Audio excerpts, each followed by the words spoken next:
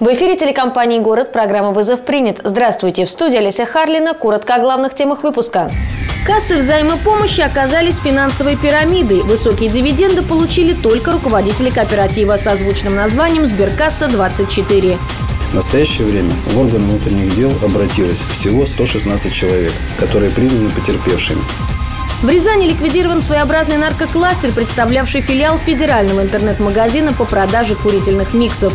Ну, рассказывай, чем занимался. Я и делал. То есть прятал, сохранял, сохранял. Уйдет с молотка. Как и где реализуется имущество, если его арестовали за долги? Законодательством сейчас э, дано право должнику самостоятельно реализовывать имущество после его ареста. Кассы взаимопомощи или многоуровневая финансовая пирамида. Для тех, кто лишился своих сбережений, ответ на этот вопрос уже очевиден. Речь о кредитно-потребительском кооперативе «Сберкасса-24». В паутине организации добровольно оказались жители 11 субъектов Центрального, Уральского и Южного федеральных округов Российской Федерации. А вот головной офис находился в Рязани. Хорошее название, приманка для граждан в виде обещания выплат высоких дивидендов, плюс целая команда из профессионалов, специалистов, генераторов и реализаторов идей и проектов. И люди сами начали приносить свои деньги. А вот когда пришли забирать прибыль, не обнаружили даже красивой вывески. По предварительным данным, такая схема начала работать с 2012 года. При этом ни о какой финансово-хозяйственной деятельности не было и речи. В настоящее время в органы внутренних дел обратилось всего 116 человек, которые признаны потерпевшими.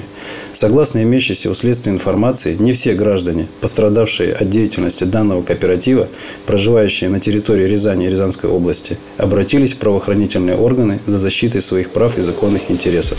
Людей привлекали обещаниями финансовой помощи населению, поддержкой предприятий и финансированием молодежных проектов. Вся информация о Сберкассе-24 размещалась на собственном сайте с помощью средств массовой информации и в популярных социальных сетях. В общей сложности жертвами кооператива стали более двух тысяч граждан, а нанесенный им ущерб превысил 100 миллионов рублей. Проведено 14 обысков. Изъятые электронные носители информации, а также черновые записи и документы говорят о том, что количество обманутых рязанцев как минимум вдвое больше. Следователи напоминают, если вы или ваши близкие пострадали от действий руководителей кооператива «Сберкасса-24», вы можете прийти с заявлением в любое подразделение полиции или сразу в Следственное управление УМВД России по Рязанской области по адресу город Рязань, улица Фирсова, дом 12, корпус 1. Осенью прошлого года по России прокатилась волна отравлений курительными смесями. Пострадало более 800 человек. 40 из них спасти не удалось. Но смертельно опасный синтетический наркотик до сих пор наносит удары по регионам страны. Несколько дней назад в Рязани удалось ликвидировать своеобразный наркокластер, представлявший филиал федерального интернет-магазина по продаже курительных миксов. Потянуло на легкие деньги. Потянуло на легкие деньги. Ну а то, что люди могли умереть от этих наркотиков, тебе в голову приходило? Приходило, но не думал, что настолько страшно.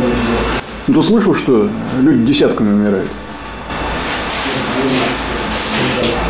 Закладка наркотиков в тайники была на совести выходцев из республики Удмуртия. Только один из молодых людей ежедневно сбывал до 30 пакетиков спайса.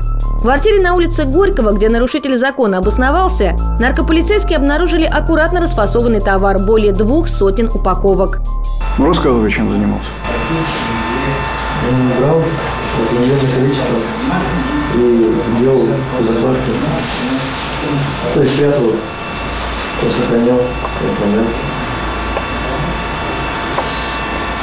А деньги ты как получал? От потребителей или как, как зарплату? Ну, как зарплата. Сам потребляешь? Нет.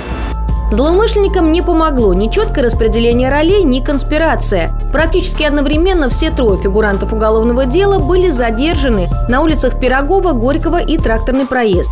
Произведены обыски на четырех съемных квартирах в Рязани и Москве. Координировал деятельность курьеров, а также проводил инструктаж и подбирал новые кадры 25-летний уроженец Оренбургской области. Откуда приехал? С Оренбурга. С Оренбурга? Да. Давно здесь живешь? Ну, здесь не живу, в Москве. В Москве живешь? А здесь как? Что делаешь? В гости приехал. Кому? По Амрону. Вот к этой? Да. А в Москве чем занимаешься? Ничего. Ну как ничем.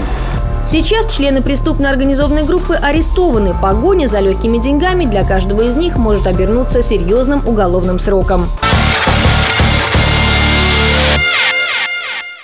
2014 год стал чуть ли не самым насыщенным по количеству и качеству принятых поправок в миграционное законодательство Российской Федерации. Эффект уже заметен, а в текущем году будет еще ощутимее.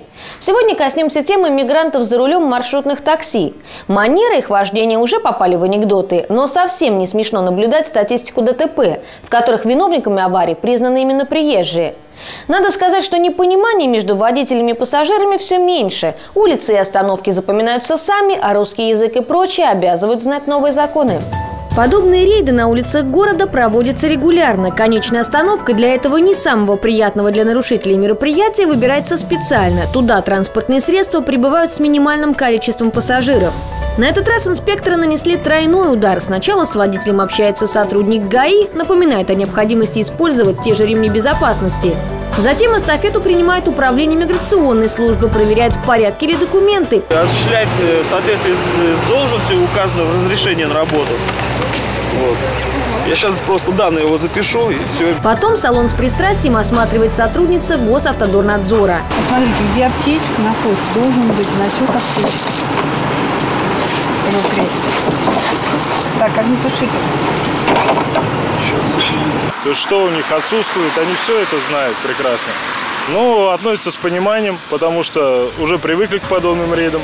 К административной ответственности будет привлечен каждый, кто предпочел закрыть глаза на нарушение и выпустил на линию транспорт, которому самое место в ремонтных боксах. Порядка 15 административных правонарушений э, тремя экипажами дорожно-патрульной службы было выявлено со стороны госавтоинспекции. Вот за два часа проведения рейдового мероприятия. Гораздо меньше нарушений выявляет миграционная служба. После изменения некоторых законодательных норм они сократятся еще. Теперь не важно, кем ты работаешь в России, а знать русский язык, историю и законы в том числе будь обязан. Иностранцу грозит штраф как физическому лицу от 2 до 5 тысяч рублей, а работодатель там побольше штрафы. Есть постановление правительства от допустимой доли иностранных работников на 2015 год. Там э, вот как раз э, на маршрутных транспортных средствах там допустимая доля иностранцев 50% стала. Водители ведут себя по-разному. Кто смущается, кто откровенно злится. Только обижаться тут не на что. В салоне не дрова, живые люди и безопасность прежде всего. В селах и поселках Скапинского района развлечений немного. После 6 часов вечера потихоньку начинают закрываться магазины и перестает циркулировать транспорт. Работы для взрослого населения не хватает. Молодежь развлекает себя сама. По-разному. Иногда подростки просто гуляют до ночи или вовсе не приходят домой. Вот уже несколько недель мама Оксаны Панферовой не находит себе места. Ее дочь исчезла и практически не оставила зацепок для следствия. Поиски Оксаны Панферовой длятся почти два месяца. В день исчезновения 21 декабря 2014 года девушке исполнилось 16. Пользуясь социальной сетью, она пригласила своих знакомых отпраздновать день рождения, но никто так и не захотел прийти. Есть информация, что, несмотря на юный возраст, Оксана кротким нравом не отличалась и могла устроить ссору на пустом месте. Оксана проживала в поселке Желтухинский Скопинского района. Он расположен рядом с трассой М6 «Каспий». Или, как еще иногда называют, Москва-Астрахань. Последний, кто видел Оксану, ее приятель. Они вместе катались на автомобиле молодого человека. По словам кавалера, он довез девушку почти до дома и больше ее не видел.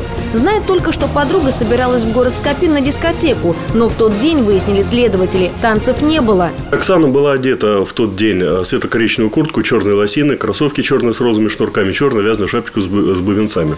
По одной из версий, Оксана могла воспользоваться железнодорожным транспортом. К тому же один из таксистов дал показания, что 30 декабря подвозил похожую девушку к Рязани первой. С собой у пропавшей не было ни паспорта, ни телефона, только 400 рублей. Следственные органы просят всех, кто 21-22 проезжал по данной трассе и мог видеть девушку на дороге или подвозил ее, просим обратиться к дежурному по следственному управлению Вот, либо э, сообщить любую информацию, которая могла бы нам помочь в розыске. В биографии Оксаны Панферовой уже были случаи, когда теплой постели она предпочитала берег пруда или грязный подъезд.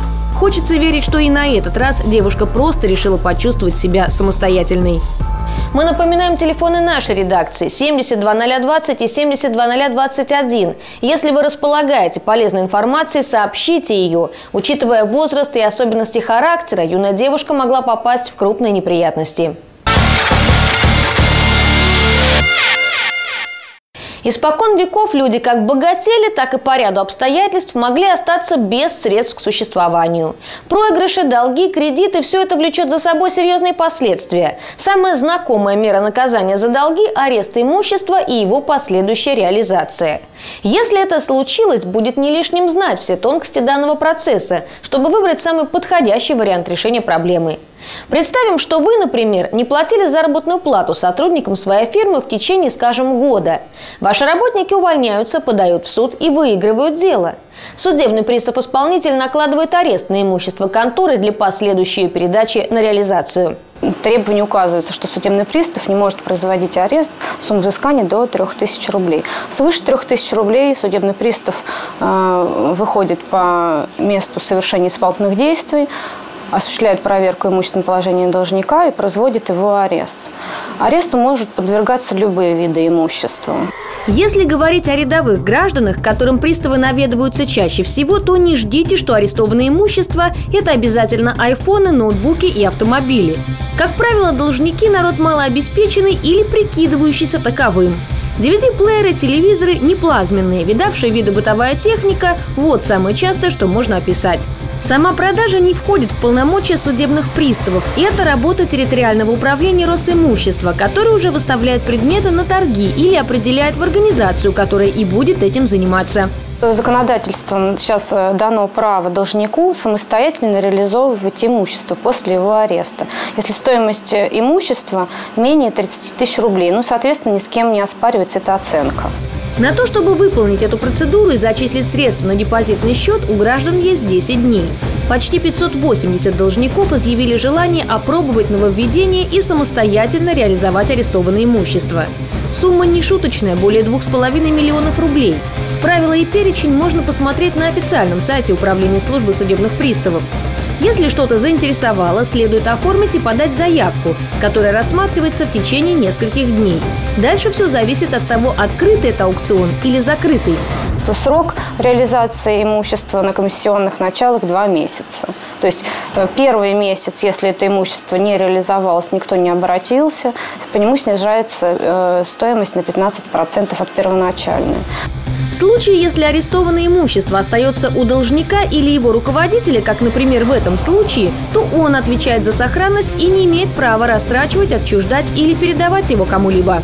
Каждые 10 дней проверяется сохранность арестованного имущества. Однако мы можем нагрянуть в любой день, и имущество должно быть в надлежащем месте и в надлежащем состоянии, которое мы арестовывали. Эта проверка нарушений не выявила. Данное имущество уже передано на оценку, и если долг не будет погашен, то транспортные средства уйдут с молотка. А вообще самое лучшее решение, чтобы потом не кусать локти, платить по счетам вовремя или, по крайней мере, не усугублять ситуацию прятками от судебных приставов исполнителей и махинациями из разряда «это не мое, все принадлежит маме».